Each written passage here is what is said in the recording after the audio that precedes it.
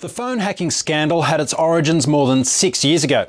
Now, it begins in 2005 when the News of the World royal editor Clive Goodman writes a story about Prince William hurting his knee and Buckingham Palace smells a rat.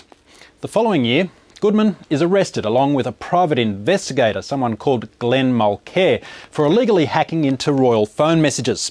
In 2007, the pair are jailed, and the News of the World editor Andy Coulson resigns. But the Murdoch company that owns the newspaper, News International, insists it's the work of a single rogue reporter.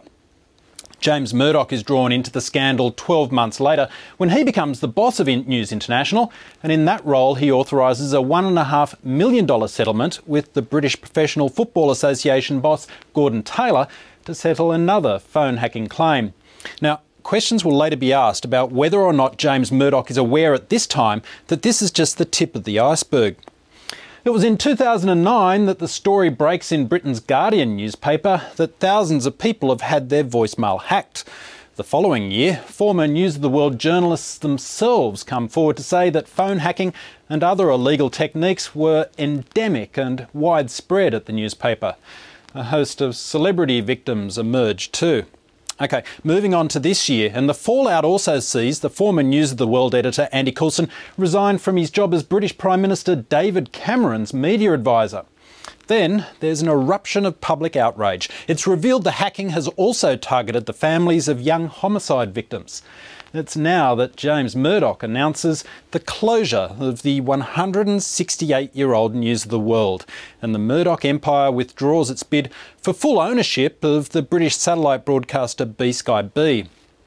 Next, the scandal claims the scalps of top News International executives Rebekah Brooks and Les Hinton. And the drama spreads abroad as well with the FBI asked to investigate whether Murdoch journalists broke US wiretap laws. There's concern too US anti corruption laws may have been broken by the US based News Corporation after it's reported that illegal payments were made to British police. The scandal sees two of Britain's top officers, Metropolitan Police Commissioner Sir Paul Stephenson and Assistant Commissioner John Yates, both resign and investigations are launched into their handling of the affair. Rupert Murdoch himself is now drawn into the unfolding drama when he's called to face questioning by British lawmakers and he cops that shaving cream pie. But to some observers, it's his son James Murdoch who's left with egg on his face.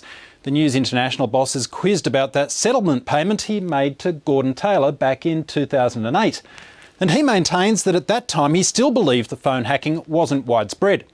But that evidence appears to be contradicted when former News of the World executives Colin Myler and Tom Crone reveal the media organisation had already received its own legal advice that there was a culture of illegal information access at the newspaper and overwhelming evidence that a number of senior journalists were involved.